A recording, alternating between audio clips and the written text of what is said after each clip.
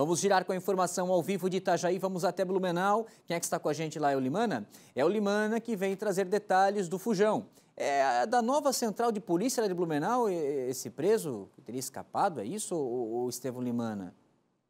a ligação dele aqui com a região da Grande Florianópolis também. O Estevão explica tudo para a gente. Uma ótima noite de sexta-feira. A informação ao vivo é contigo. É isso mesmo, Zanotto. Uma boa noite para você, para todo mundo que está nos acompanhando aqui no Cidade Alerta Santa Catarina. Então, Zanotto, este é o segundo homem que estava foragido, né? Ele fugiu no dia 12 de setembro da nova central da Polícia Civil aqui de Blumenau, que fica no bairro Itopava Norte. O que aconteceu por lá?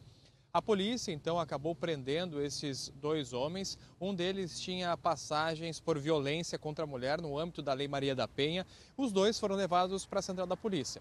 Quando chegaram lá, a central de polícia, e recentemente inaugurada, ainda não possui celas não possui celas instaladas na parte de trás da estrutura, essas celas que funcionam para deixar os presos que chegam de, de, prisão preventiva, temporária ou estão aguardando a audiência de custódia. Esses dois homens então acabaram por conseguir fugir. Fugiram então do local. Um deles foi encontrado horas depois pela Polícia Militar lá no bairro Progresso, na rua Santa Maria, e um outro estava foragido desde então. Este segundo homem, que tem 35 anos, foi encontrado pela Polícia Militar na cidade de Palhoça. A polícia então encontrou ele com armas de fogo, também estava com entorpecentes para a venda. Não se sabe se esse homem estava vindo aqui para Blumenau ou se estava atuando na região metropolitana da capital. Mas o fato, então, é que agora esses dois fujões estão atrás das grades. Anoto. Ou seja, trabalho dobrado para a polícia, que prende, leva para a central, mas aí uma central sem cela deixa o detento aonde, hein?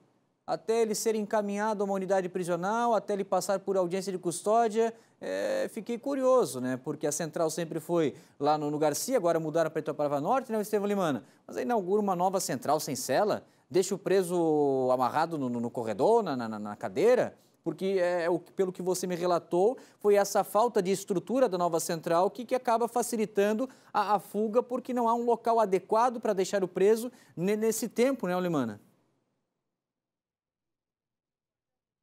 Exatamente. Como é que eles estavam lá, Zanotto? Eles foram levados até uma sala, ficaram naqueles bancos com uma barra de ferro que estava fixada na parede e ali eles colocaram as algemas. Foi aí que eles conseguiram então fugir.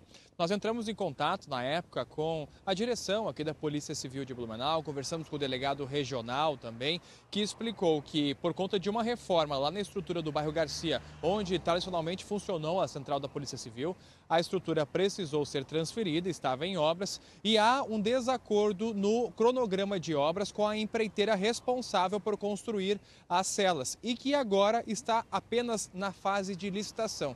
Portanto, mesmo passados aí praticamente 20 dias deste caso, nós continuamos sem celas na central de polícia que fica no bairro Topava Norte. Situação realmente bastante complicada, Zanotto. É,